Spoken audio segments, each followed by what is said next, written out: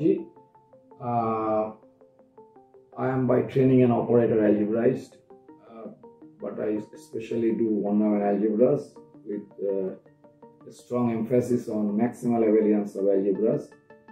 Uh, I had done my master's from Indian Statistical Institute uh, back in 98 and I graduated with a PhD from Texas A&M University under the supervision of Professor Ken Dykema. Uh, so I, I was trained in the free probability school and in that way my research uh, is mostly about ramifications of matters that appear arise from free probability.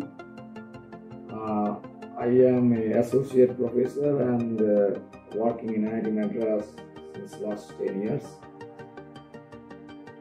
And well, over here I have a research team of couple of students uh, and postdoctoral fellows, and we also have some colleagues in other neighboring institutes with whom we uh, continue our research. Uh, so we are engaged in uh, picking up projects from national and international agencies, uh, and CEFIPRA is one of them that we try. So my CEFIPRA project is titled Maximal Abelian Subalgebras in Operator Algebras. Uh, this is quite a exotic topic in von Neumann algebras, but is also quite difficult because the area of von Neumann algebras is not so popular as other areas of mathematics. Uh, in this project, uh, I am one of the PI from India, and my co-PI is in NISER Bhubaneswar, Panchugopal Bikram. And the PI from the French side is Professor Eric Ricard in University of Caen and uh, is the director of the Laboratory of Mathematics there. Along with him, we have uh, Professor Roland Vergnioux, who is also in University of Caen. And we have two other French colleagues from University of Paris 7, that's Professor Pierre Fima and Professor Francois Lemaitre. So we are a six-member team. Uh, plus there are some other people, those who are our students and uh, postdocs, those are not officially part of the project, but they help us in navigating through the project. Uh, it was quite a huge grant for us and uh, well while corona did a lot of blow in uh, executing the project like foreign travels and so on, we think we are quite successful. And uh, well, this have actually made us reach the French team more uh, with a more wider appeal, and that's what I think is one of the most things that I cherished and I had. As an outcome of the project in mathematics, the deliverables are usually papers and uh, talks in conferences for dissemination of science. Uh, dissemination of science has not happened that much because travels have been limited because of corona crisis. But as far as uh, papers are concerned, the last project report, I believe we have given a, list of around 13 or 14 papers, all of which at the international level.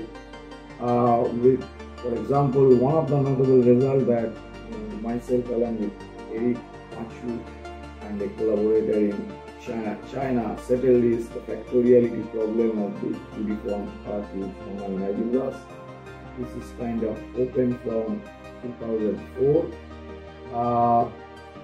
And it, it is in the spirit of the project, like it has to do with maximal abelian subalgebras and so on. There are also other papers that we have written in this project along with students and postdocs, but uh, joint Indo-French collaboration has been a little bit, uh, I mean, little bit deferred because of the Corona crisis. Along with the French team uh, in Paris 7, we are writing a very long paper on Borel subspaces of von Neumann algebra, which is already a 100-page draft by now. So we, will take some time to finish it. Maybe not cannot finish it by the time the project ends, but we'll keep on going, doing it. So in this way, I really believe the project was successful given that we were not allowed to meet and had to do many things by electronic modes of communication. And uh, we would like to continue this collaboration with the French colleagues in sport in some ways or the other.